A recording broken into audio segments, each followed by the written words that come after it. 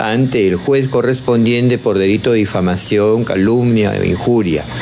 Creo de que en una situación de esta naturaleza donde estamos protegiendo a la mujer y donde consideramos que una mujer no puede ser perturbada de esa naturaleza, debe necesariamente utilizar los elementos judiciales para que sea la autoridad judicial la que se encargue de sancionar. Como una cuestión laboral, yo tengo que defender a todos los trabajadores, no solamente a Andrea. Acá hay, acá hay mujeres que, que, que, trabajan y son parte de la cartera de clavito. Y hay otros hombres, que son la mayoría, que también pudieron infringir de esta manera. Okay, en este caso sucedió con Andrea Fonseca. Y de eso hay pruebas. No, por Yo favor, las pruebas las voy a escucha. mostrar en la De acuerdo, pero más o menos dinos qué decía. ¿Qué decía? Cuéntanos, cuéntanos brevemente, ¿qué decían? ¿Eran, digamos, conversaciones? Yo no te voy a manifestar porque son demasiado fuertes las conversaciones. son subidas de No lo puedes sacar al aire. La acusación es grave, pero de ser cierta es necesario, como lo recomienda el especialista, tomarse las medidas legales correspondientes.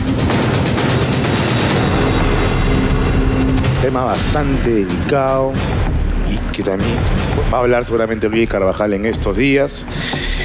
Tema difícil, difícil de tocar. Vamos a, vamos a esperar también que hable, que hable y seguramente Clavito y Suchela y bueno y su grupo podrá venir acá también a conversar sobre el tema. Vamos a, a cambiar, vamos a cambiar el tono del, programa porque el jueves Juega Perú. ahorita Vamos. juega Perú Bolivia. Vamos, Perú. Y Ya está listo Chiyimi para después Ya de. está. Ya está listo. Ya está lista la bola. Ya, ya Predicción. está lista. Ya está listo. Ya vas a chapar la cartera. Ya está, ya está listo. Ya está listo. ¿ah? Además vienen las mujercitas. No, bien. ¡Ay! A puerta del partido Perú-Bolivia se enciende un debate. A ver. Viene Paolo Guerrero. ¿Ya? Tiene que estar concentrado. Así Y van y le preguntan. ¿Qué onda con Alondra? Cristian Meyer. Sí, Cristian Meyer. querías un Le gol a mete gol, Ah. Cristian Meyer. Viene Farfán. Vas a volver con la Yajaira. Y después, todo. cuando los jugadores se desconcentran, todos nos quejamos. Los chancan. Los periodistas deportivos opinan sobre el tema porque es un partido trascendental. Son tres puntos importantísimos. Y después de esta nota, vienen las mujercitas y Chiyimi. Con su. No. Venir. el regreso de Chiñini. Les voy a decir Así es. cuánto queda el partido. No. No. No, ya, muy, ya muy frío. ya. ¿Quién tapa? ¿Ya? ¿Eh? ¿Quién arranca? ¿En qué minuto entra Farfán? ¿Ya? No. ¿Tanto? O sea, ya se adelantó. Todo eso le digo después de la nota acá. ¿Quién lleva la 10? ¿Quién lleva la 10?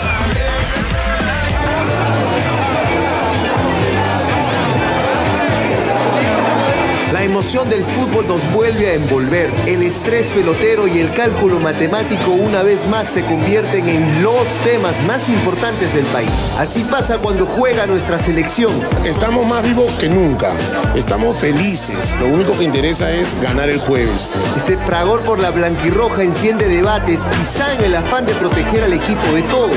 No nos podemos estar tan solemnes y decir, pocha, perdimos porque le preguntaron por la novia, perdimos. ¿Por qué le preguntan por la novia? Ya nos fregaron. cuando vienen de un viaje desde Europa, este, en el caso de Jefferson, que es un viaje larguísimo, este, lo último que quieres es que te vienen a preguntar una cosa.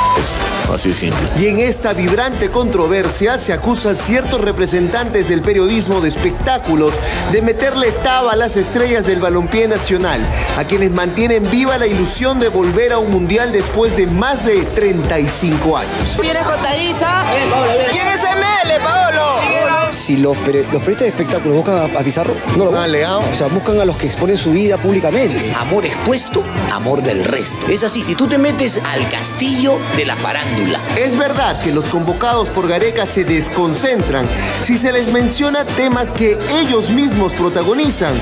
Es verdad que los programas de espectáculos son los principales responsables de las derrotas deportivas. Se desconcentran si se desconcentran. Te lo van a preguntar inevitablemente. Depende de ti cómo lo tomes y cómo te prepares también para lo que viene. Porque si tú compras un paquete, estás comprando el paquete completo. Con mucha frecuencia, Paolo Guerrero comparte tiernas postales y segundos en video de su romance con la bella Thaisa Leal. Así nos permite asistir a su tono idílico, casi con pase exclusivo. Yo valoro muchísimo al periodista, pero este es fútbol y creo que todos tenemos que jugar a favor de la selección. Ayer la estrella del fútbol brasileño llegó al país.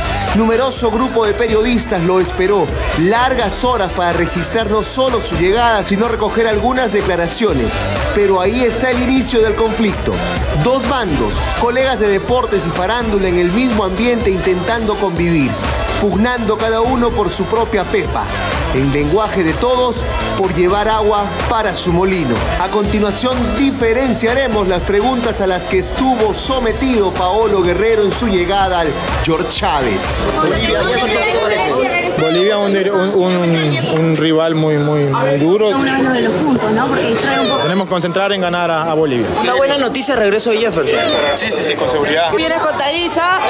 ¿Quién es ML, Paolo? ¿Qué se siente entrenar ahora con Thaisa allá en la casa? ¿Quién es ML? Sobre el significado de ML en el Instagram. ¿Estuviste molestando a la Jefferson?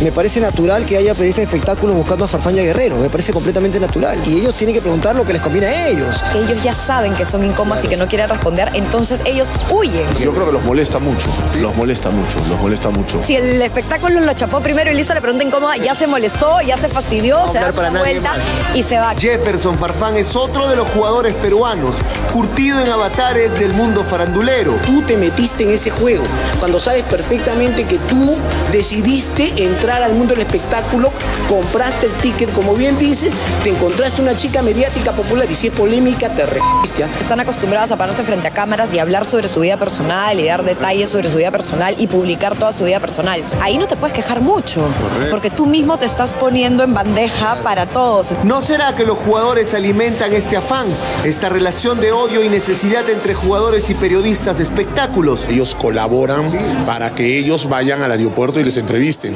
Entonces, exacto, entonces también hay un grado de culpabilidad del jugador. O sea, eh, yo te pido que tengas tus redes, yo te pido que, que, que bacán, que interactúes con tus amigos, pero no le des pimienta, pues. O sea, no le des, este, como le digo yo a mis hijos, no, no le des carne al gato. Lo que pasa, Cejas, es que en la semana de la selección la gente se pone la coraza. Entonces, este, de la noche a la mañana ya Farfán se convierte en el número uno incuestionable y hay que apoyarlo así o sí o a muerte. Entonces, este, la gente critica que la prensa esta, que la prensa acá, que la prensa cómo le va a preguntar esto. Hermano, este, insisto, la prensa no está buscando a Pizarro, no está buscando a, no sé, a Butrón o a, o a Tapia para preguntar esas cosas, o a Aquino o a Ruiz Díaz. Se lo preguntan a los que exponen su vida pública. Es normal. Todos son 100%. La tabla está igual, porque está diciendo que solo quiere ganar esos cuatro guerreros. definitivamente. Primero pensar en gol. ¿Y usted qué opina? Se trata de responsabilidad compartida y que periodistas de espectáculos y jugadores deberían encontrar la forma de convivir en este confuso medio guardando ambos las formas.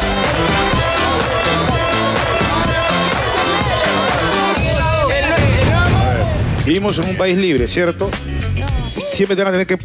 Cualquiera te puede preguntar lo que quiera. Y tienes también toda la libertad de responder lo que quiera. es. ¿Qué haría yo? Trabajo. Llegaría al aeropuerto y le diría, muchachos, ¿cómo están? Buenas noches. Hoy día no hablo sobre nada que no sea fútbol. Así es. Gracias. En otro momento conversamos y me preguntan sobre mis novias, sobre mi- todo, todo mi rollo. Pero hoy no hablo, sobre, no hablo sobre nada que no sea fútbol. Estoy concentrado. Ustedes son peruanos. Entiendo. Gracias, María Gracia. Este, María Gracia está, pero. Sí, sí, sí. Desde que- María Gracia ya empezó. Sí. Está, está.